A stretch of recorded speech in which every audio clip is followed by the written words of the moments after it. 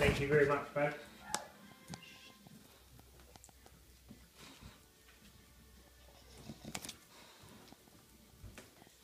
Mm.